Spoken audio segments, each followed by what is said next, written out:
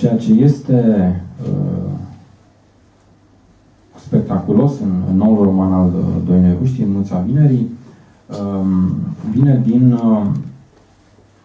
permanenta dublare a acestei, acestui plan uh, istoric și cultural de unul uh, fantastic, uh, magic, uh, ezoteric, uh, mistic.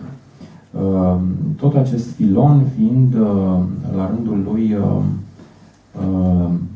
localizat, aclimatizat, uh, hibridizat cu uh, influențe